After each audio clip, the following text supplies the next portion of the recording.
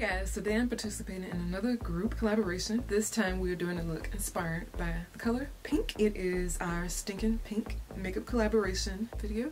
So, here are the ladies participating. We have Afoma, Anya, myself, Rachel from Rae Young, Rachel from Pixie Rai MUA, Lisa from the Curvy Cuban, Samantha, Shelly, Tara, and lastly, Tiffany. So we all took our own spin basically on the theme. We've not seen each other's looks before filming, so it's always interesting to see what everyone comes up with. Everyone's links will be down below as usual, as well as their channels, so you can go subscribe to their channels. If you guys would like to see how I achieve this look, keep watching. Started my brows. I used the NARS brow pencil. I'm now gonna clean up the bottom with my Studio Finish NC35 concealer. That's what I normally use underneath my brows. I normally do my brows off camera, but I just forgot to do it before I pressed record. I'm also testing out a new microphone. I'm not quite sure if I'm gonna like it or not. Hopefully I like it. Just in case I need to make adjustments to the sound or anything, just bear with me. I'm just gonna blend downwards.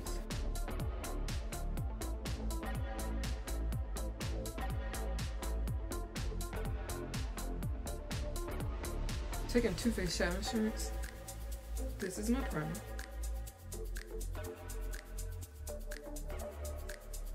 I'm my NYX Jumbo Pencil in Milk. I have been neglecting this, although it is awesome. It helps stuff stick better. I'm gonna sharpen it. and take my finger and blend it out. Although I don't think I used enough, so I'm gonna take a little more. Just midget under the bottom.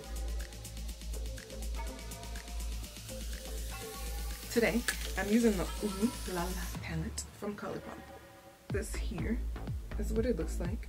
First, I'm gonna do an all pink look, so it's gonna be totally monochromatic. I am taking, I guess, Poodle into the crease, this color here. Using a MAC 224, it's just a really fluffy blending brush. Just taking my finger again to make sure everything's blended out. Taking Poodle, as I mentioned, into the crease.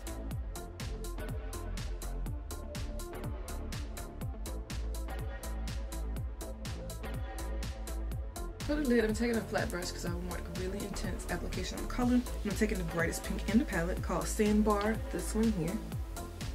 And this is just a stiff flat brush from Sigma. Excuse my nose. I colored my hair and it messed up my matte top coat. I'm gonna have to stop doing matte top coat because it does not look good when it gets dyed. And now the matte top coat is peeling off. It's not cute at all. I love matte top coat, but it just doesn't work for my lifestyle. I like colored hair. I don't like wearing gloves. I'm taking this on my lid. You can see how intensely pigmented that is.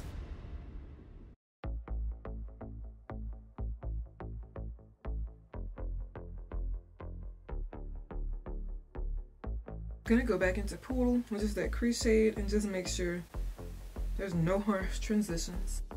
Okay, for the outer V, I kind of don't want to use purple, but it looks like that's kind of what I'm stuck with in this palette. But I'm going to do as pinky purple as possible. So I'm going to take this color called Trove. It's this pinkish plum at the bottom left here. I'm just going to take an even more tapered brush than the previous. This is Coastal Scents BRC N08. I'm packing it on to start with. And I'm going up with the remaining, remaining, oh my gosh, remaining product. You might have to go back into your palette a couple of times. I'm not applying too much. I just want a deepened crease, going back and forth. And you might need to take your fluffier brush with that poodle, which is that crease shade we originally started with. You might hear snore. I shouldn't have to tell y'all that now. y'all should know by now. You're snoring. It's not me, obviously. It's my dog. He normally sits right behind me while I'm filming. He's like my guard dog. Cute. I'm gonna go back in with my lid color. And then again add a crease color, lightly. Going in with a brown highlight now. I'm not sure I want to use anything shimmery, but I think I will. Yes, I am. I'm taking Moonstruck, bottom right.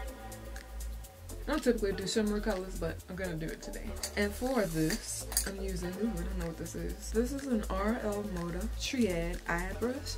It came in one of those uh, BoxyCharm boxes, I believe. Or Allure, one of the two. I'm applying at the highest part of my arch and then blending down. And then I'm going over to the inner, doing that on both sides. For the bottom, I'm actually going to take purple. I know it's stinking pink, but I'm going to do purple. This is Picky Bank from ColourPop. It's a cream gel liner.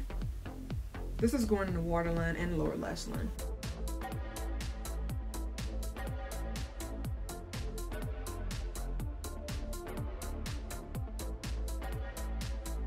Gonna leave the inner corner bare. I normally do that. Taking the same brush I used for my brown highlight, I'm taking this color called Tickled at the top left.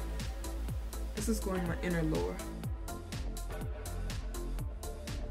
And then I'm gonna connect it with another color. Taking another brush I've used. I'm taking this purple called Caddy at the bottom here. And I'm lightly smoking up this. Doesn't take much because it's pretty much already color there that's gonna stay. That's the whole idea. I'm taking my NYX Epic Ink liner. You could also use pink. I probably should. Let me see. Let me see if I have anything that will stand out. If I don't, it's pretty much pointless because this is already pink. So I found pink glitter liner. I'm gonna use that in along with my NYX Epic Ink liner. I'm just gonna do black and then I'm gonna go on top with glitter. We'll see how it looks.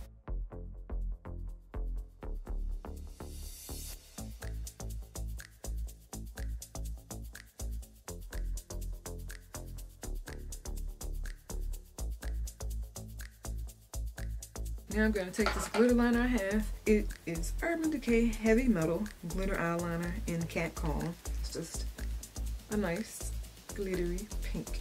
I've never used this color, I don't think. I might have, maybe. I forgot. I totally forgot. Actually, I'm gonna let this dry a little more, my eyeliner, before I put this on top. I don't want black on my tip. So, I'm gonna take some mascara next. Urban Decay Troublemaker. It's just going to top for now.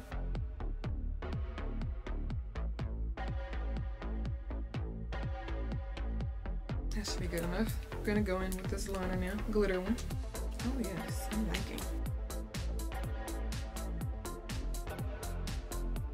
Now if you ever want to enhance your glitter liner, just take actual glitter and put on top of the liner. Now, I'm gonna take some lashes. These are from Amazon. Look like this. They are the 3D 535. They are cruelty-free faux or cruelty-free mink lashes. And I have to say that because, you know, people are cray. They will accuse me of using faux mink lash or mink lashes that aren't cruelty-free. And I'm not saying I'm perfect, but because I still buy designer bags, which are leather, I feel like every little helps. No matter what you do, in my opinion. Hopefully these aren't too long. I haven't measured them in a while. It's not like my eye grew. I don't know why I just said that.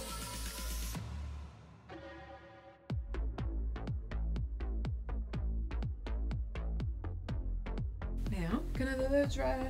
Fix, I could probably fix my black liner now where I messed up. I'm gonna do my face. Don't know how long I'm going to use that mic or use the microphone because the battery's died so quick. I literally used it once or twice and the battery died completely. I don't know about that. So, okay, foundation. I'm gonna use my usual Bare Minerals Fresh Face Liquid Foundation. This is their Made to Fit. Taking a couple of pumps and foundation brush. This is the Sedona Lace 480. This is a bit lighter than me now. I got a slight tan, so I might need to use bronzer with it. Actually, I always forget to do this. I didn't even do concealer or anything. What the heck am I doing? This is ColourPop No Filter Concealer. Dark 40. I'm gonna quickly do this before I do foundation. Sedona Lace 312.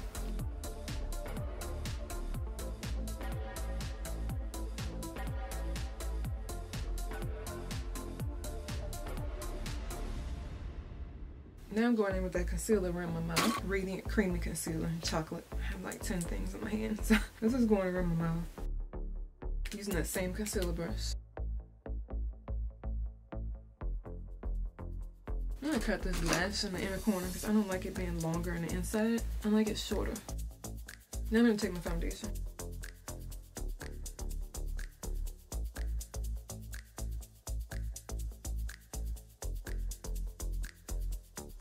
Course, I'm putting extra around my mouth. I normally do. I don't think it's too much lighter today.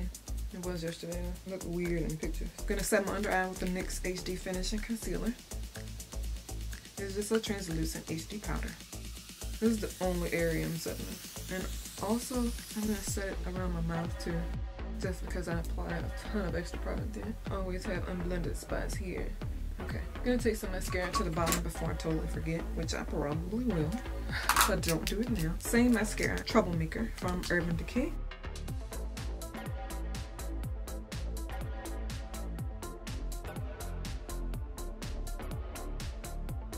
For cheeks, I'm gonna take a very bright pink. It is stinking pink, like literally stinky. This is the Lee Breathless Rocks Sonic Rouge. This is old school. I don't even think this company is around anymore. It's just a really bright pink. You can see it through there. I'll open it for you. It's intense. Like I'm scared to use it almost. Look, I'm definitely dumping something to my lid because if I dip my brush in here, it's gonna be crazy. Just take any bright pink you have. And then blush brush.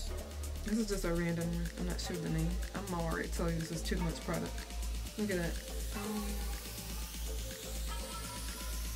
it's gonna take some serious blending. Look at that. Told you it was intense. And I barely put anything on the brush.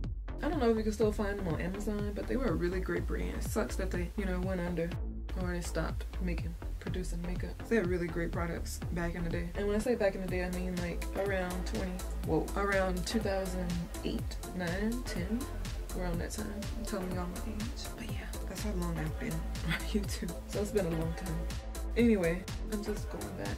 If you happen to put too much like I did, just go back with your foundation brush. I'm gonna go ahead with my foundation brush I use. I'm not adding any more product.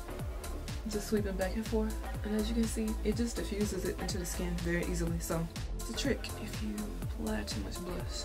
Just be sure if you're planning on using a brush again just clean your brush off so that when you go to apply foundation next time you don't have pink everywhere. I'm gonna take a pinky cheek highlight stinking pink.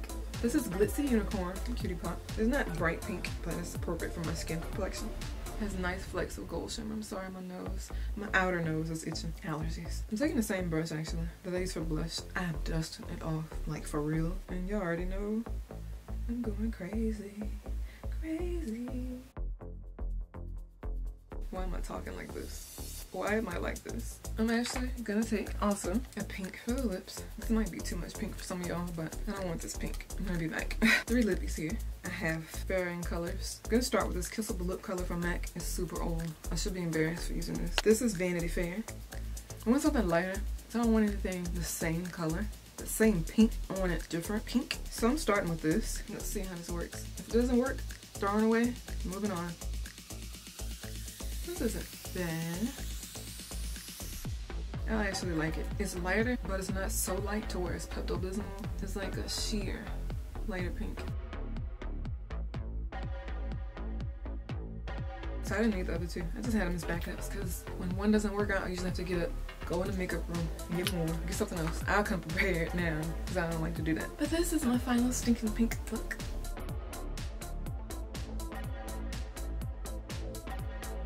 Hope you guys enjoyed this look. Hope you guys tolerated my mic. It's my first time using it, so hopefully I got it set up properly. I don't know, I'm new to this. Honestly, I don't feel like I needed it. I just wanted to see, you know, what improvements, if any, could be made if I had one. Because I have one of the best cameras out there. Yes, I'm bragging. I'm just saying, Sony is better than Nikon or Canon. I've used all three. Sony is better. So we can have an argument on that if y'all want to, but Sony is better. I'll say it again. Sorry, I'm one of those people. So yeah, if you rate the video, subscribe to my channel. Don't forget to check out the other ladies that are participating in this collaboration. I'll have all their links below as well as their channels so you can go subscribe to them as well. Talk to you all soon. Thank you for watching.